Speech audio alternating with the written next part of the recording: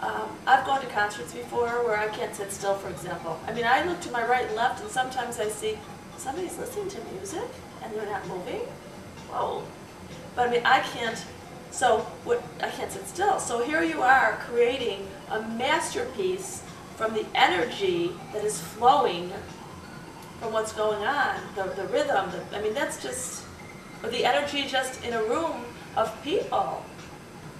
What's cool about that is, uh, some people, these events are life-changing. For example, um, you can go on a date to go see Josh Webber perform, Mhm. and on that date, you could meet the person who becomes the mother of your children, and who you end up spending the rest of your life with.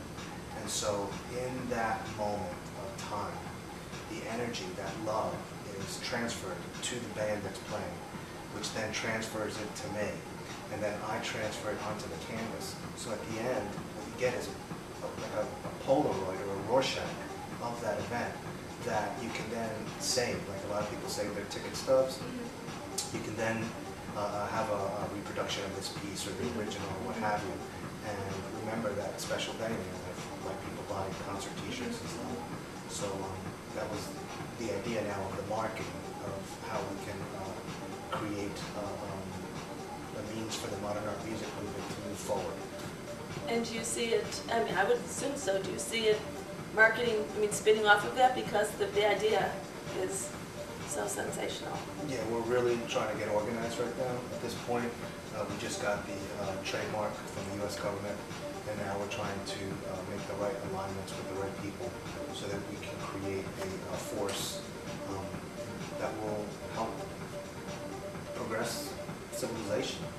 So that's where we're at right now. We're, we're in the infancy stage. I mean, I, I can honestly tell you, I never thought that I would start a movement. And there's no guidebook on how to start a movement. I don't believe there's any courses or anything. So I've been really kind of learning this by meeting some amazing individuals who have vision and fortitude of character. And I've been uh, learning from these individuals and they've been assisting me. I think that kind of falls back to like, like attracting like. When you put yourself somewhere, all of a sudden now you said you're, you're connecting with these individuals. You're starting the movement, but what's amazing is it sometimes it only takes one beat of one drum and then there are other, you hear from behind the echo and all of a sudden you look and it's like, oh my goodness. I was standing alone and now all of a sudden there's 20 people that are sitting behind you with your drums. It, it's, but you're starting the movement, which is brilliant. And I'm glad to step in at this moment, and I hope I'll be the movement. I mean, just, I love the energy, of course, so. Oh, absolutely. Consider yourself a part of it. And that's one of the reasons I wanted to come on your show, uh, July 4th, Independence Day, because, um, you know, I believe we're all the United Slaves of America at this point, and there's slaves all around the world. And what people are looking for is a true democracy, not a, a capitalist democracy, but a democracy for the people, by the people. And if you look at Constitution and you look at the articles and the Bill of Rights, nowhere does it say that we were supposed to be a corporate nation. And uh, a lot of the corporate interests of multinational companies have really uh, damned us. And uh, they've damned the future generations. And uh, I think we really have to get back to the core of uh, civility and think about the way that the American Indians thought, which was seven generations forward.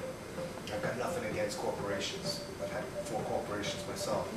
But I think it's important that the CEOs be less concerned with making millions of dollars that they can't take with them. Because when you're dead and you're gone, really, you can't take it with you. What they should be concerned about is the legacy that they're leaving behind. And they should think seven generations forward. So I think if we can have that mind shift, and the drumbeat that I'm starting, if that can somehow resonate with rich is not a four-letter word. Well, actually, rich is a four-letter word, but it shouldn't be you a negative connotation. And I think um, we can shift the mindset of people. We've been too greedy. We need to change that.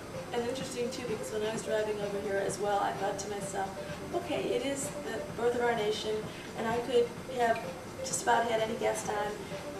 I don't believe in co- coincidence whatsoever. So I, I started thinking about you and your work and, and your messages and all your work, and I know what you stand for now that I've got to know you.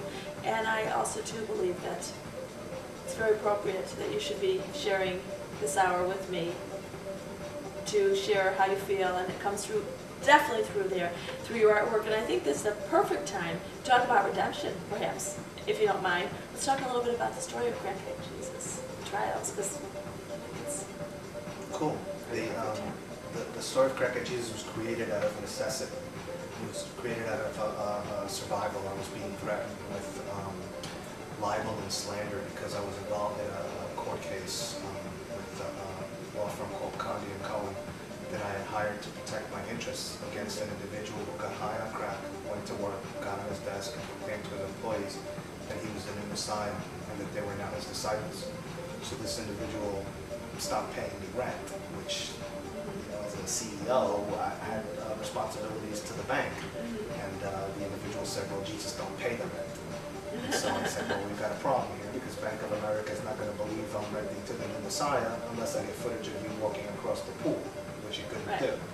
So um, anyway, the attorneys that I hired to protect my interests ended up uh, uh, suing me. So it became a, a huge conflict of interest, and I was told by the attorneys that if I tried to uh, report them to the Florida bar, that they would keep me in what's called a litigation vortex, because basically it doesn't cost them anything to go to work and just file frivolous lawsuits. That's when I started doing my research, and I realized that there was a dangerous situation that exists, which is now being shown with uh, certain court cases that are high profile, that if you uh, don't have competent and ethical attorneys, it can really destroy the fabric of our Constitution, which is what's happening right now. I mean, because these lawyers are passing laws that are disgraceful. So anyway, um, I created this story in four and a half weeks because I had a show to do, and it was uh, called the Crackhead Jesus exhibit that I was doing for Art Basel 2005 with an individual called Jerry Kelly on South Beach and it was for Art Basel Week. So um, I created this story real quick in four and a half weeks, and somehow it resonated with the audience. The original name was Redemption, the story of the Crackhead Jesus trials, but it's since morphed into uh, the primary character of the story, which is Crackhead Jesus. And the title of the short that was made is Crackhead Jesus the movie, which has nothing at all to do with Jesus Christ.